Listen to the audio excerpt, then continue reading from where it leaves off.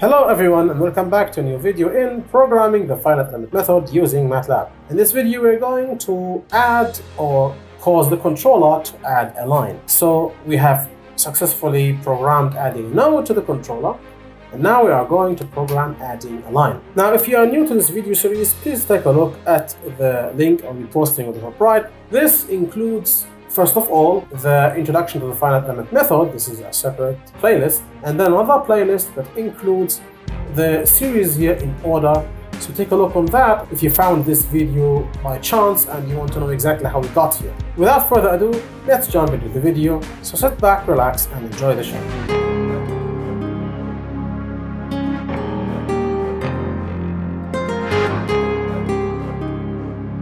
Alright, now I will basically collapse this function because I know what this does, this str node. You can collapse and expand functions by pushing the plus button here. Now I'm going to define me a new function called function line equals add str line. Now what do I want him to do when he wants to add an str line? Well, first of all, I must pass itself the object, which is the controller, and then let's think what the user is going to pass. For now, I will let the user pass only the node 1 and node 2, the starting node and the ending node of the line. There is more to this, because the user must uh, pass the section and the material and so on. But for now, I'm gonna pass node 1, I'm gonna pass node 2, and I will end this. So now the line must be defined, it must be given back to the user, and it must be stored. Now, I will assume that the user will never, ever add a duplicate line because it's not something that happens from meshing, it's something that the user will do by his own hand. So maybe I should add myself a reminder to check for duplicate lines. But I'm not I'm not gonna do that for now. I'll keep this for later. So here, let's take a look. Now, first of all, we need to deal with the ID. So as we have done before, I will say object.str line id. This is gonna equal object.strLineID plus one. Remember, you cannot use the plus plus notation of C sharp yeah, okay, I'm gonna say, because I want to keep the style the same, I'm gonna say the ID is gonna equal to object.strLine ID. You could jump over this uh, thing and just use this directly, but I like to have things neat. And then finally, I'm going to create a line by calling the constructor of the str line and looking what he needs. He needs the ID, check, node 1, check, node 2, check. In the end, I'm going to store this so I'll call str or object dot the str lines storage. This is going to equal the old storage, added to it the new line. So I think this should be working, but only one way to find out. I'll go to main, let's just delete those things, and let's just add us a line. So I'd say here, line 1 equals control output add str line, and it needs, of course, node 1 and node 2, as we said before, and then maybe I could call line 1 dot to string to see if everything has happened or not. So F5, nothing works, it seems, no appropriate method. That's very odd. I thought I had one. Really? Add str. Oh, capital letter. Silly me. Let's run again. So yeah, there we go. It works. So what happens here is node 1 is defined, node 2 is defined, line 1 gets defined using node 1, node 2, so when I call the line 1 to identify itself, it says, I am line 1 and I have node 1 and node 2 at my disposal. So this is, so this is perfect. Maybe I should add a duplication check because we are already there. So how would I add a duplication check?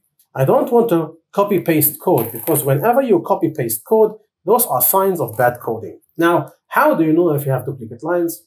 If you have a line that has node 1 already existing, the same node 1, and node 2 already existing, the same node 2, then this is an indication that you have duplicate lines.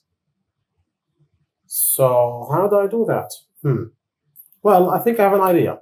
So I'll say here for, and I will call it i equals from 1 to length of object.strLine. So we're running a for loop. Remember, this is equivalent to this. And I've explained this in the previous video. Take a look to understand the difference between the for loop in MATLAB and the for loop in C Sharp. In MATLAB, we are starting our counting at 1, not at 0 like other programming languages. Alright, so I'm going to check every str line, right? So how do I do that? Uh, first of all, I will call existing line to capture the object str lines of i. So I'm now taking out the existing line. And now, oh, uh, bad habits. In MATLAB, you should use those parentheses instead of brackets. Now I must compare.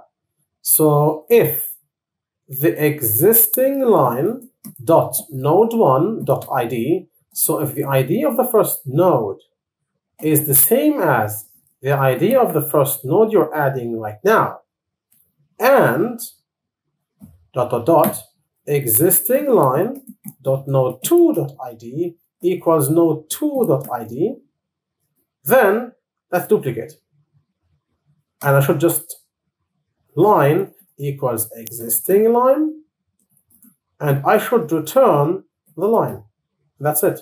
Oh, I don't need to say return line. Return and that's it. This is how MATLAB works. Now, I need an end for this if statement, I guess. So that should work. Now, there is another problem. You see, this eliminates duplication if I add the line in the same direction of the existing line.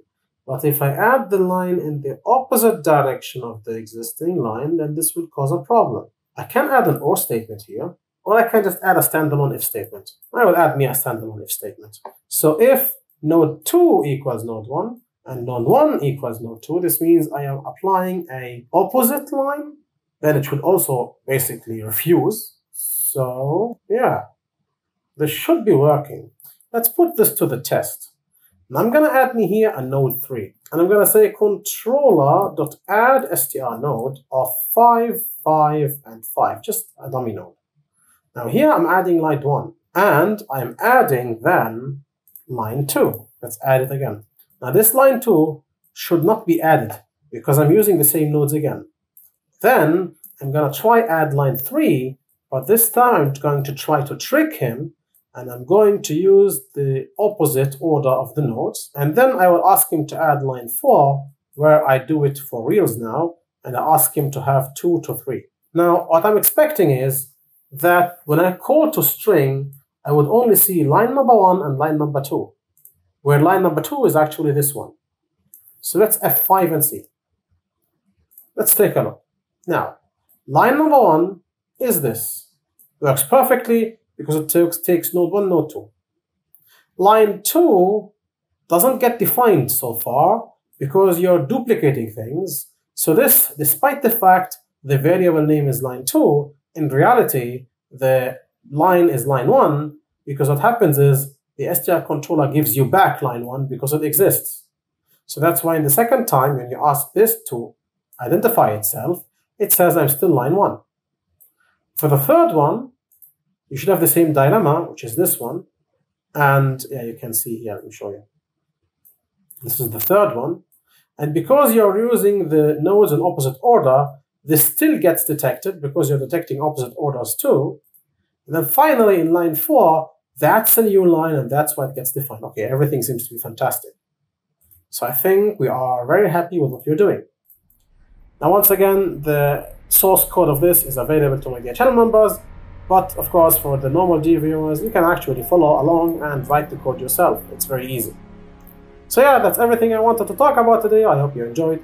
And in the end, I want to give a linear-sized shout-out to my dear channel members in the contributor level and the helper level whose names are going to be shown on the screen. I want to thank them from the bottom of my heart as the support of the channel is priceless to me and enables me to provide you with videos hopefully on time and with a certain quality I try to achieve and for that I am forever thankful. In the end, I hope that you enjoyed the video and you found it beneficial. If you have enjoyed the video, then please consider liking, sharing, subscribing, commenting, and so on, especially subscribing because it helps increase the reach of my channel. As per usual, this is the Civil Engineering Essentials channel, and we'll catch you in the next video. Bye bye.